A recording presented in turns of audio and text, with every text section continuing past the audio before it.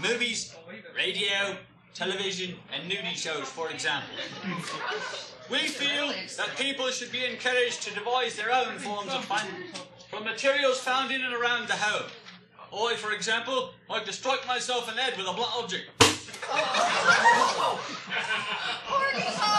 The British have had a long tradition of devising their own forms of fun.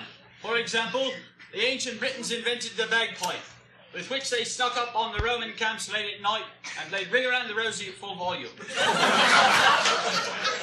when this wore thin, they discovered that they could take off all their clothes, paint themselves blue, stand up on top of the white cliffs of Dover, yell nasty slogans at the incoming Romans.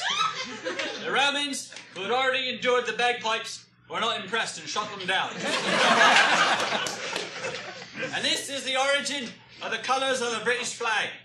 White for the white cliffs of Dover, red for the blood of the ancient Britons what dribbled down, and blue for the plant dye with which they coated themselves, called woad.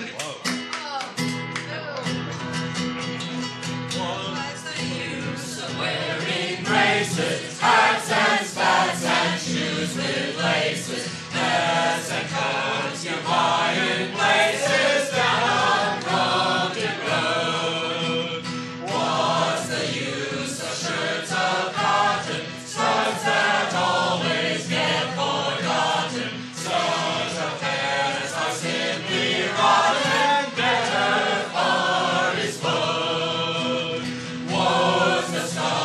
show man.